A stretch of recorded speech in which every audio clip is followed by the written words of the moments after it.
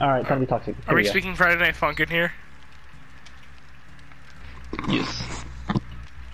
Yo, Blake, give me a verse.